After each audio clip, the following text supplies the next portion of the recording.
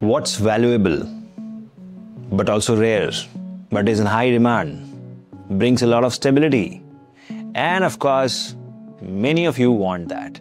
Hey guys, welcome to Biotecnika. Today we are dealing with something which is highly rare, highly valuable, very stable. Everybody wants it, but problem is it comes so rarely. Yes, we're talking about government jobs in biotech in India.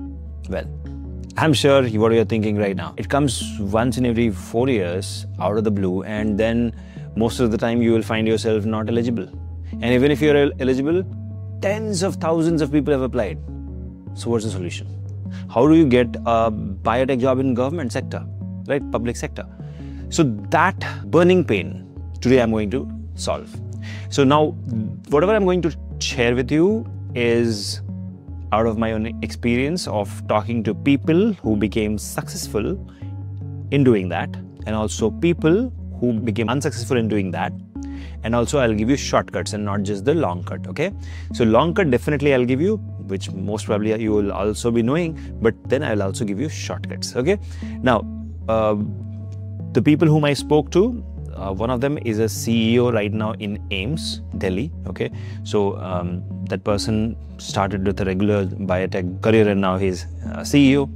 Then I also spoke to someone who is head of BIRAC, then who has worked as a head of BIRAC and started as a very humble uh, career in the beginning. Somebody who was a editor in a magazine and now is heading a big organization in biotech in government. So, uh, and of course, one of my friend is in AICTE, um, handling as a director there. So, I'm going to talk about how do you get government biotech jobs because I have interacted with all these people and many other people who failed. Of course, I cannot take names, but they failed because of obvious reasons. Even that I'll discuss. And how can you strategize to get these jobs?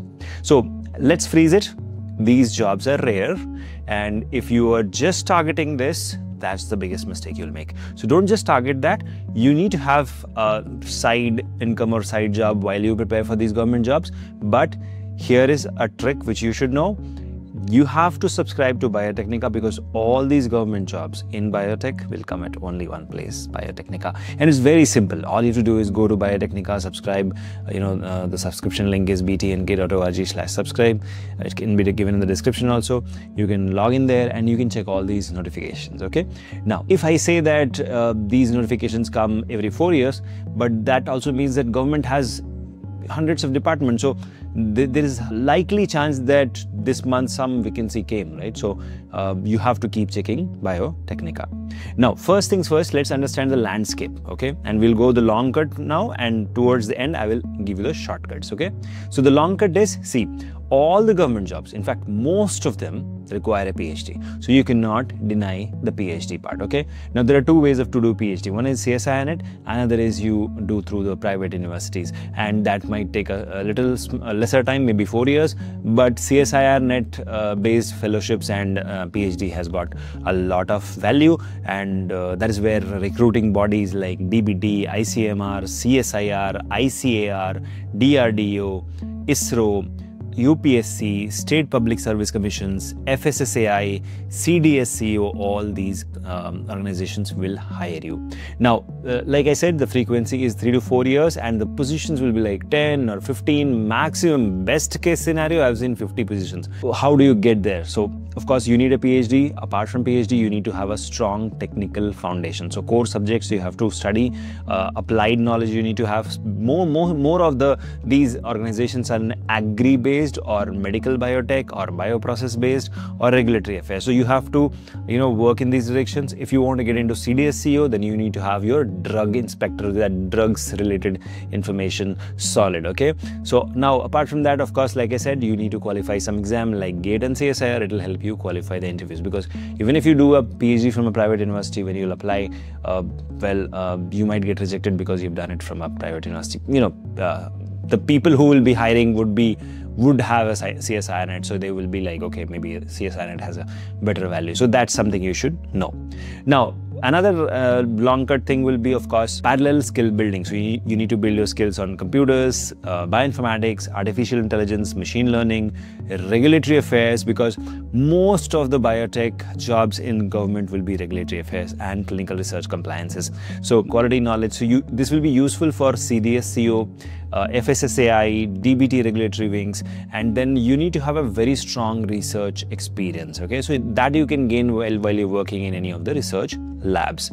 Now, timeline would look something like okay, you first qualify CSIRNet or DBT, ICMR or NET on GATE, and then you uh, do your PhD, which should take four to five years. Then you, uh, you know, apply for some scientific positions in the same uh, host institute or you wait for the government biotech recruitment exam whenever that happens right?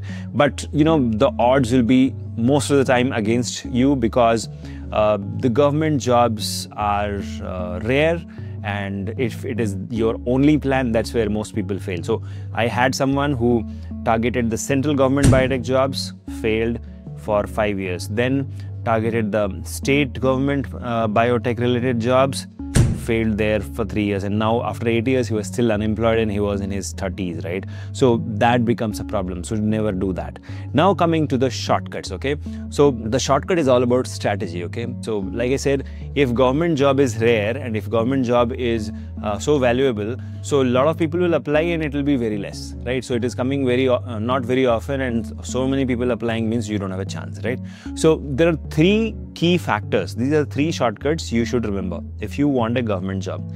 The first is when the government is going to form a new department or a new organization or a new infrastructure okay they will be requiring a lot of people there, right? So you need to be the number one in that particular list, right? And how do you do that? Of course, networking, reaching out, being present there, right? Being available all the time so that people know, okay, this guy, he has a lot of these skills. Let, us hire him, right? So, you know, they won't go for headhunting or, uh, you know, they don't have a HR team. Mostly the recruitments will happen through referrals when, whenever a new department is opening. So, for example, like I told you, uh, one of my friend, so um, she just had PhD in biotech and then all she did was she worked as an administrative officer in one of the universities. That's all. And she had, of course, research experience during her PhD, right? So when these new AIIMS were opening in different parts of the country, okay, she applied, right? And uh, she got it in her home state, okay, in AIIMS, and of course now she has uh, got moved to Delhi. So what really happened here? She she was at the right place at the right time. She was ready with her PhD. Okay, PhD is done, research experience is there, and now I have administrative experience. So like I said, three things in government will happen. The first is whenever they are forming a new administrative unit or a research unit or a lab or something like that, right? So whenever they are doing that, they'll require more administrative people. That's the first level of hiring they'll do. The second is they will hire a lot of researchers there.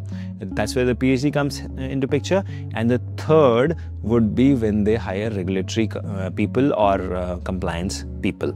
So that's where uh, you have to keep your eyes open. Now, depending on your skill set, either you can specialize in food because food related inspectors are will be in demand in the future or drug inspectors so you can work with CDSCO and UPSC, right? Now, in both the cases, you need a very good knowledge not of Indian regulatory affairs, um, rules and uh, compliances policies. You need to know the entire global regulatory environment, right? And that is why Biotecnika has the Global Regulatory Affairs Training Internship, where you can you get trained for the first 45 days and then you do a project internship which will be valuable when you're applying for these jobs. Details are given in the description. Uh, this month itself 21st of august it has started. You can check it out. Now apart from this now we have the food side. So you you will have to prepare yourself for the fssi food uh, inspector or food analyst exam right? Junior food analyst exam. So for that also Biotecnika has a training program. Again the details are given in the description so either you go the drugs way in regulatory or you go the foods way in the uh, regulatory. So both ways you have the training programs which will help you get a job. So uh, you know, uh, let's assume that this is 2025 and the next opening is going to come in 2029. So, what can you do, do in between 2025 and 2029 so that you get that job in 2029? Okay, let's strategize this way. So, the first thing you need to learn a lot of cross domain functions. Okay, the second would be, of course, learn a lot of regulatory and compliance functions, and the third would be gain research experience. That's very very important. And it is uh, immaterial from where you do but you must have it on your cv and they're going to ask you questions. See mostly when the recruitment board sits they will comprise of senior scientists of csirs and all these guys right? And they are going to look at your cv they're going to ask you relevant questions. If you're able to answer you get that job okay? So that's about um, all of this long cuts and shortcut. But there is one special premium shortcut which can help you sit next to the Prime Minister of India. Okay, and for that, you don't have to go through all of this process. Okay, one of my friend works in the Principal Scientific Advisor's Office, okay, PSA's office, which advises the Prime Minister related to all the scientific activity in the country, right? So now, how can you be there at the PSA's office, Principal Scientific Advisor's office, or you can become the Principal Scientific Advisor? The starting salary of a Principal Scientific Advisor goes up to, you know, two or three lakhs per month, apart from a lot of perks and facilities you get, right? So now the question is, as a biotechnologist who is getting started today, how can you be there by 2047 in um, in the Principal Scientific Advisor's office? There are two ways I have seen. Okay, the first will be uh, gain research experience, do PhD, and of course, um, get in some administrative role or regulatory role or a compliance role, okay, and rub shoulders with the top notch um, bodies like DBT, BIRAC, um, CDSCO, FSSI, all of, all of these, okay, CSIR, or go abroad, okay, go abroad, get your PhD postdoc, and then there try to work in some big uh, organization which is funding a lot of scientific startups, okay, like biotech startups. One of them is Bill and Melinda Gates Foundation, one of the largest funding agency, private funding agency for the startups in biotech space, right? So what government sees is somebody who has experience of uh, giving funding, okay, so even that is a great role which you can get in. You can become direct head of BIRAC or get into the principal scientific advisor's office. So basically, one of my uh, friend is working there as well. So like I said, what he did is he first did PhD from Bangalore, IISc, then went abroad, did his postdoc, got hired by Bill and Melinda Gates Foundation. Okay, and then he worked at various uh, roles for complete 20 years. Okay, and then when, when the right time came and he wanted to return to India, this vacancy came. Narendra Modi's government came up with the vacancy for One Health. Okay, and uh, I've taken his interview also um, on Biotecnika. You can check it out. So he applied there, and now he's working there. So his role is about bringing the concept of One Health into India as a new concept. You can Google it out, and you'll know. So yeah, so this is about the shortest shortcut which he did because he really didn't go for any government exam or all of that long cut okay or preparing and waiting and thinking when the notification will come. He just uh, i would not say got lucky but he was built for it okay if you want to get into that top notch and sitting and advising the prime minister of india i think that's a great pride for you right? And it's it's a great uh, honor to be working for your country at that level right? Where the policies are framed. So you can even get there and a lot of money salary honor comes your way. So let me know which uh, shortcut or idea you liked. And if you have any other ideas or shortcuts let me know in the comment section which so that we can share with others as well. Now uh, whatever you do like i said three important knowledge you need to have cross-domain computational knowledge because computers are going to be the biologists of tomorrow. So you need to have a lot of computational biology, bioinformatics, AI, ML knowledge.